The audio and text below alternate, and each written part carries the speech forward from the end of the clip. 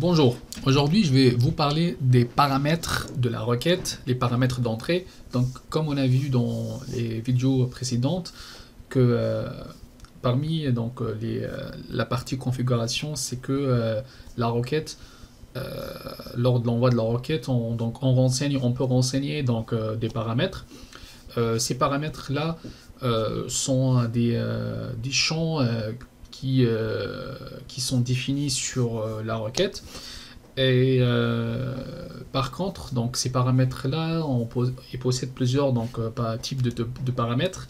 Donc les, les paramètres sont, font partie de l'URL qui est utilisé pour envoyer des données supplémentaires. et là, en fait, dans cette vidéo, je vais vous parler de ces ensembles de paramètres. Donc, sur Postman, comme je viens de vous expliquer que on renseigne. Donc comme, vous voyez ici dans mon exemple donc dans le cas où je renseigne un paramètre donc l'URL en fait se construit automatiquement. On voit ici un point d'intégration. Donc pour donc euh, là pour commencer à lister les paramètres et entre et donc on va trouver la, donc le nom du, euh, du paramètre par la suite la valeur. Et donc après on aura donc un et commercial pour dire donc là on va mettre le deuxième paramètre. Mais donc sur Postman vous n'allez pas donc toucher à ça parce que ça sera donc euh, créé automatiquement euh, à partir d'ici. Donc les types des paramètres donc euh, on parle d'un paramètre qui est qui est donc un paramètre simple donc, comme notre cas ici, donc ça c'est un paramètre très simple. Donc, on a un champ et une valeur. Et donc, lorsque je vais exécuter, donc il va m'afficher donc la page 1 d'utilisateur. Et euh, donc là, par exemple, les paires, donc peer page, donc combien d'éléments par page? On a 6 éléments. Si par exemple je fais donc euh, peer page ici 10, donc j'exécute, donc ça va changer bien sûr parce que euh, j'ai forcé donc ce champ là et euh, donc c'est très clair. Donc ça, c'est le champ le plus utilisé, vous allez le trouver donc euh, partout. Par contre, il existe deux autres types de champs. Le deuxième, c'est qu'on peut avoir un, champ qui est de type tableau. Comme en fait euh, cet exemple-là, vous voyez qu'on peut avoir, bon, j'ai pas un exemple devant moi maintenant, mais par exemple, vous, vous pouvez avoir un champ adresse. c'est un tableau et donc Ici, donc, pour passer ce paramètre-là, vous devez, vous devez faire comme ça. Donc, imagine que nous, donc, on a un champ adresse. Donc, on va faire adresse. Et là, on va faire, par exemple, euh, euh, voix, numéro au nom de voix. Voilà. Et là, on fait donc ça, numéro de voix, par exemple.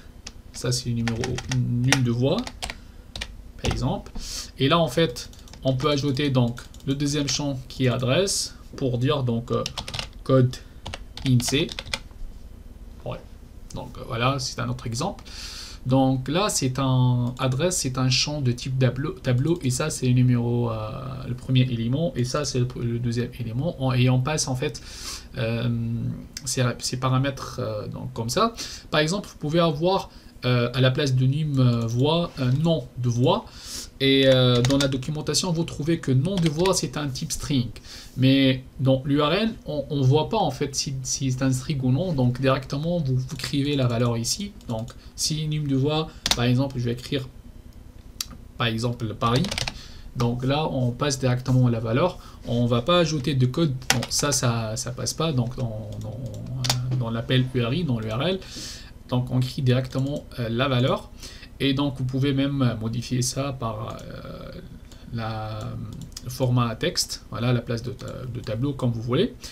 Et, et, donc, le dernier type de paramètre, c'est le type, c'est le type en fait tableau de tableau. Lorsque vous, aurez un array, donc un type tableau de tableau, parfois vous tombez sur des API euh, de ce genre. Donc dans ce cas-là, euh, vous pouvez avoir un type, type de tableau et là donc euh, vous pouvez donc euh, passer votre URI de cette format-là. Donc c'est un tableau de tableau. donc voilà, donc ça sera comme ça. C'est un tableau de tableau, genre non matrice. Donc voilà. Donc exactement. Voilà. Donc ça c'est le 13e type, donc les plus utilisés, les plus fréquents. Voilà, donc euh, en gros. Sinon, la dernière chose, c'est la pagination. C'est quoi en fait la pagination? Parfois, vous trouvez des paramètres qui sont pas en fait des informations vraiment qui, qui, qui, sont liées à la data de, de, le web service, mais qui sont en fait des qui concernent la pagination. Donc c'est quoi la pagination? Par exemple, vous voulez là en fait quand vous, vous, vous faites un appel API, vous aurez par exemple une seule, donc, euh, une seule page par exemple ou un seul élément, qui sera affiché. Si vous voulez euh, afficher tous les éléments de toutes les informations, donc euh, les développeurs lorsqu'ils créent une API, généralement ils créent la pagination pour voilà pour que les personnes donc pour que en fait les consommateurs de l'API puissent en cas besoin d'afficher tout l'ensemble des, des éléments. Euh, là, en fait, j'ai mis par exemple, euh, si on a une API X, voilà, user, bah, c'est pas un vrai exemple, on peut avoir euh, de pagination pour dire, donc là, on veut afficher la page 2, donc ça pour dire, donc on va afficher la page 2, donc, et là, en fait, pour, pour dire, on veut afficher size, c'est-à-dire qu'on veut afficher combien d'éléments dans, dans, cette, dans cette API, et donc, voilà. Euh, en gros, c'est ça les types de paramètres dans l'appel, euh, en fait l'appel API euh, get surtout. Pour le post, pour en fait les paramètres de post, donc le post, on l'appelle dans body. On va voir un exemple. Donc là, en fait, c'est le body. Et donc, le post, c'est totalement différent. Donc ici, on passe un JSON. Et donc, dans le post, donc on va mettre le nom, du, du, champ donc entre deux guillemets et par la suite la valeur. Ici c'est un string, donc on va mettre entre deux coches. Si c'est un string euh, ou, euh, du date, on va mettre entre deux, deux strings. Et si c'est un entier, donc on va mettre, on n'oublie pas de mettre la virgule bien sûr. Et là par exemple je vais mettre num bah, j'ai écrit n'importe quoi. Ici, c'est un entier ou float ou euh, donc euh, c'est un number. Donc ici, on va mettre la valeur sans mettre les deux codes euh, pour distinguer le, type. Donc il, a, il, y a, il y a la notion de type dans JSON. Vous pouvez voir ça donc sur Internet.